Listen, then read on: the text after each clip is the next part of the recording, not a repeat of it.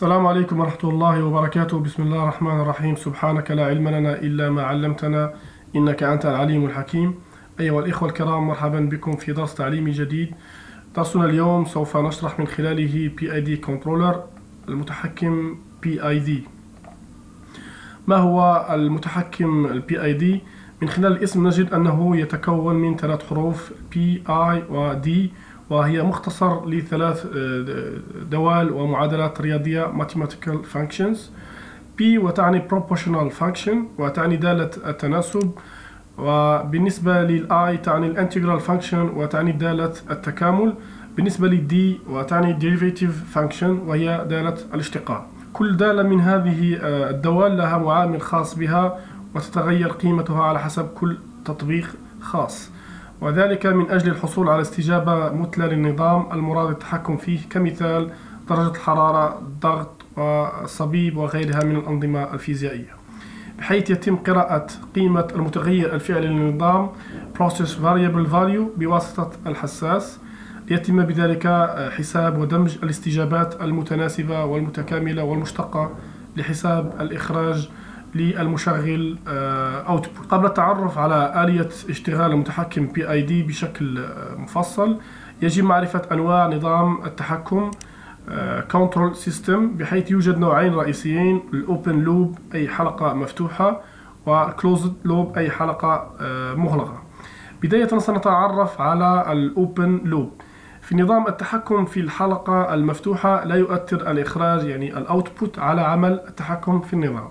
بمعنى آخر يعرف النظام الذي يعتمد على عمله على الوقت يعني ال time باسم نظام التحكم في الحلقة المفتوحة. نظام الحلقة المفتوحة خالي من ال feedback أي تغيير قيمة النظام والتي تحول آه، إلى إشارة بواسطة الحساس أو المستشعر sensor. وهذا هو المخطط التوضيحي الخاص بنظام ال open loop control system كما نلاحظ لدينا مدخل input وعادة ما يكون مؤقت time timer بحيث نقوم بضبط من خلال الوقت الذي آه، بحيث نقوم بضبط من خلاله الوقت الذي نريد نريد المتحكم أن يتحكم به في النظام لنحصل على الخرج ال output كما قلنا سابقا آه، وكما نلاحظ لا يوجد أي feedback من النظام كما سيتبين من خلال المثال التالي في هذا المثال نعتبر لدينا مضخة نريد بواسطتها ملء خزان أو إناء معين. نقوم بضبط آه، اشتغال المضخة على زمن معين كمثال خمس دقائق بحيث تشتغل المضخة في ملء الخزان وبالتالي فهي مرتبطة بالوقت الذي تم تحديده بحيث لا تؤثر قيمة نسبة الملء في اشتغال المضخة. أي إذا امتلأ الخزان ولم يتم انتهاء الوقت المحدد سوف يتدفق الماء خارج الخزان إلى أن يتم انتهاء الوقت وبذلك تتوقف المضخة. كذلك ستتوقف المضخة عن العمل عند انتهاء الوقت المحدد حتى ولو إذا لم يتم الخزان. النوع الآخر من نظام التحكم وهو نظام ال close loop الحلقة المغلقة ويعني نظام التحكم في ال close loop أن إخراج النظام يعني ال output يعتمد على مدخلاته يعني ال input بحيث يحتوي النظام على input loop feedback يعني مدخل مرتد راجع واحد أو أكثر بين مخرجاته ال output ومدخلاته ال input. بحيث يتم تصميم النظام الحلقة المغلقة closed loop بطريقة تسمح بال output المرغوب تلقائيا من خلال مقارنته مع ال input الفعلي بحيث يولد آه، يولد النظام close loop إشارة الخطأ وهي الفرق بين قيمة input وال output آه، الفعلي. وهذا هو المخطط التوضيحي الخاص بنظام Closed Loop Control System كما نلاحظ الفرق بينه وبين الأوبن لود هو الفيدباك بحيث يرتبط الخرج مع القيمة الفعلية المرتدة من النظام بواسطة المستشعر كما سنلاحظ في المثال التالي. في آه هذا المثال لدينا مضخة تقوم بملء الخزان بالماء بحيث يوجد بالخزان آه عوامة كما نلاحظ كهربائية يتم من خلالها ضبط نسبة الملء عند وصول الماء إلى المستوى المطلوب يتم إرسال إشارة كهربائية إلى المضخة بالتوقف. وعند نزول المستوى الماء إلى المست... عن المستوى المرغوب فيه والذي تم ضبطه بواسطة العوامة ترسل العوامة إشارة كهربائية إلى العوامة بالاشتغال وهكذا بشكل دوري. أنواع ال closed loop controllers يوجد التحكم يعني ال on off controller كذلك proportional controller أو تحكم الم... يعني المتناسب وحدة التحكم التناسبية المتكاملة يعني PI controller أو proportional integral controller. كذلك وحدة التحكم المشتقة يعني مشتق نسبية والنسبية يعني ال PD يعني proportional و derivative controller.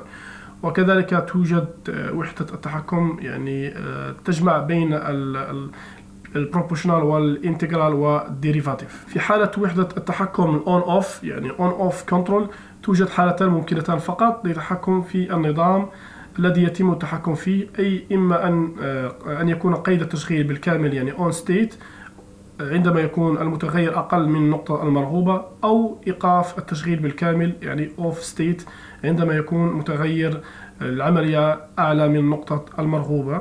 لذلك سيكون الخرج output متذبذبا كما هو موضح بهذا المثال وهو مثال لتحكم في الحرارة بواسطة heating element وهو عنصر التسخين أو شمعة كهربائية كما نلاحظ.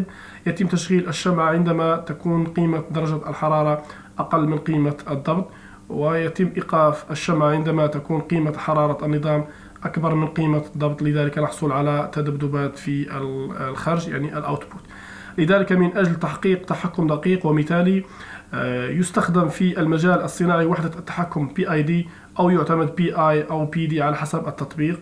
لذلك سوف نتعرف على آلية ومكونات اشتغال PID آلية اشتغال PID في التحكم اليدوي آه، يقرأ المشغل الأوبريتور بشكل دوري تغير النظام الذي يجب التحكم فيه آه، مثال درجة الحرارة والتدفق وسرعة والسرعة وما إلى ذلك. وضبط متغير التحكم الذي يجب معالجته من أجل جلب متغير التحكم إلى الحدود المرغوبة في هذا المثال تسخين الماء بحيث يقوم المشغل بقراءة درجة الحرارة على temperature gauge. كمثال إذا كانت درجة الحرارة المرغوبة هي 50 درجة ودرجة الحرارة التي وصل إليها النظام آه، هي 51 درجة. يقوم المشغل بإغلاق المحبس يدويا لمنع تدفق المادة المشتعلة وإذا ما نزلت درجة الحرارة عن 50 درجة يقوم بفتح المحبس لمرور المادة المشتعلة لتسخين الماء وهكذا. في التحكم الآلي يتم ضبط قيمة الحرارة المرغوبة ويتم قياس درجة الحرارة حرارة النظام بواسطة حساس الحرارة المرتبط بالمتحكم PID بحيث يقوم المتحكم PID بحساب قيمة الخرج الأوتبوت المناسب لتعويض إشارة الناتجة بين القيمة المرغوبة والقيمة الفعلية وذلك بإرسال إشارة كهربائية قد تكون إشارة فولت أو ذات آه، تيار إلى المحبس المحبس الكهربائي بحيث آه، نسبة فتح وغلق المحبس تعتمد على الإشارة الكهربائية. مثال إذا كان الإشارة آه، إذا كانت الإشارة التي يشتغل عليها المحبس من صفر إلى 10 فولت فعند إرسال ال PID 10 فولت يتم فتح المحبس بنسبة 100% وإذا كانت الإشارة 5 فولت يتم فتحها بنسبة 50% أما إذا كانت الإشارة 0 آه، فولت يتم غلق المحبس وهكذا. بالنسبة لل P control آه، أو proportional control وهو كما رأينا سابقا آه، يعني تحكم متناسب بحيث ينتج التحكم التناسبي P control إخراج التحكم ال control output متناسب مع الخطأ الحالي the current error.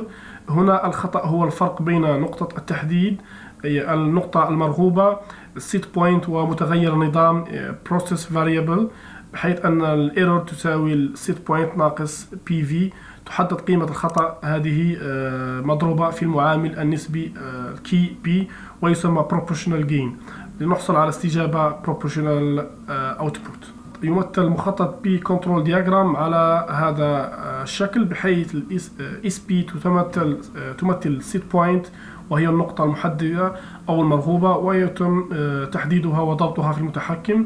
وال error يمثل قيمة الخطأ وهو ناتج خارج قيمة set point ناقص قيمة تغيير النظام الفعلية PV وتعني Process Variable والمقاس بالحساس sensor لنحصل على المعادلة التالية. Output تساوي آه، قيمة الخطأ. Error عند لحظة t مضروبة في KP معامل نسبي ويسمى proportional gain. في المتحكمات يتم إدخال قيمة آه، قيمته. كمثال إذا كانت لدينا قيمة ال KP تساوي 2 وقيمة الخطأ هي 2 فإن الخارج يساوي 4 نحصل على ناتج آه، خرج على هذا الشكل بحيث يسمى الوقت في من بدء النظام إلى أن يصل إلى set point ب rise time وتسمى قيمة الخرج الأكبر من قيمة set point بال overshoot أي التجاوز. وكما يسمى الزمن اللازم إلى استقرار خرج المتحكم ب settling time أي وقت التسوية بحيث عند استقرار ال output تبقى قيمة فرق بين ال set point وال output وتسمى steady state error خطأ الحالة المستقرة. سوف نلاحظ تأثير قيمة ال KP على قيمة ال output بحيث في هذا المثال عندما تكون قيمة ال KP تساوي 0.5 كمثال كما نلاحظ في منحنى الخرج لا يتجاوز قيمة set point لكن تكون قيمة rise time أكبر وعندما تكون قيمة ال KP أكبر نحصل على ال overshoot. ونقلل من قيمة rise time ويكون التذبذب بشكل كبير إلى أن يستقر مع وجود ال steady state error هذه السلبيات الموجودة بال P control ولتقليلها نضيف نضيف متحكم ال I controller ال I control وهو ال integral controller ويستخدم ويستخدم بشكل أساسي لتقليل خطأ الحالة المستقرة يعني steady state error للنظام. يدمج ال integral الخطأ خلال فترة زمنية حتى يصبح الخطأ صفر. ينتج عن هذا أنه حتى قيمة عند قيمة الخطأ الصغيرة ستؤدي إلى إنتاج وإنتاج استجابة متكاملة عالية. في حالة الخطأ الصفري فإنه يحتفظ يحتفظ ال output لجهاز التحكم النهائي عند قيمته الأخيرة من أجل الحفاظ على خطأ حالة ثابتة صفري. ولكن في حالة وحدة التحكم ال proportional يكون الناتج صفر عندما يكون الخطأ صفر. إذا كان الخطأ سالبا فسيتم تقليل الاستجابة أو الإخراج المتكامل. آه، تكون سرعة الاستجابة بطيئة يعني الاستجابة ببطء عند استخدام وحدة التحكم I آه، أو ال integral وحدها ولكنها تعمل على تحسين استجابة الحالة المستقرة ال steady state error من خلال تقليل معامل التكامل KI آه، تزداد سرعة الاستجابة. ويمثل مخطط ال I controller diagram على هذا الشكل. لنحصل على المعادلة التالية. Output تساوي آه، تكامل قيمة الخطأ ال error عند لحظة t مضروبة في ال integral gain أي ال Ki معامل آه، التكامل. نلاحظ تأثير ال I control وذلك عندما استعملنا ال P controller وحده كانت قيمته كانت قيمة steady state error كبيرة حيث تم إلغاؤها وجعلها صفر عند إضافة المتحكم I controller بالنسبة ل derivative controller دوره في المنظومة هو حساب مشتق. خطأ العملية عن طريق تحديد ميل الخطأ بمرور الوقت وضرب معدل تغيير هذا في معامل المشتق Kd يعني derivative gain ويمثل مخطط D control diagram على هذا الشكل لنحصل على المعادلة التالية. Output تساوي اشتقاق قيمة الخطأ error عند لحظة آه، عند تغيير الزمن مضروبة في derivative gain D معامل الاشتقاق.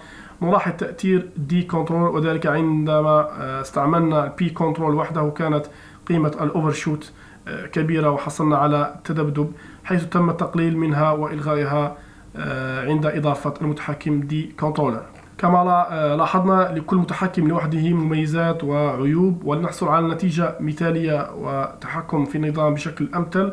تم دمج المتحكمات الثلاث ال P وال I وال D في متحكم واحد هو ال PID لتكون بذلك معادلة ال output هي مجموع معادلة ال P controller وال I controller وال D controller بحيث كلما كانت قيمة ال Kp كلما نقصت قيمة rise time وزادت قيمة ال overshoot مع نقص قيمة stead steady state error كذلك كلما زادت قيمة ال Ki كلما آه، نقص آه، نقص rise time وزاد ال overshoot وال settling time مع نقص والغاء steady steady state error كذلك كلما زادت قيمة ال Kd كلما نقص قيمة ال overshoot وال settling time مع تغيير خفيف بالنسبة لل rise time وال steady state error كما سنلاحظ في التمثيل المبياني التالي. الآن في هذا الرسم المبياني لاستجابة ال output للمتحكم PID نلاحظ تأثير كل من ال Kp و Ki و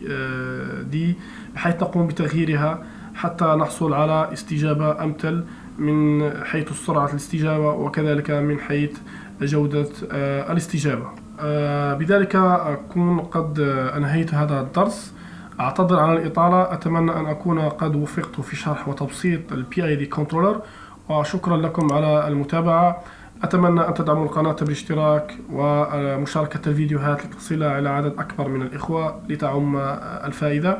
كذلك أدعوكم لتسجيل الإعجاب بصفحتنا على الفيسبوك. وكذلك متابعة حسابنا على الانستغرام. في الفيديو القادم إن شاء الله سيكون عمل تطبيقي ببرمجة PID controller بجهاز مغير السرعة ATV 312 إلى الملتقى إن شاء الله. أستودعكم الله الذي لا تضيع ودائعه. والسلام عليكم ورحمة الله تعالى وبركاته.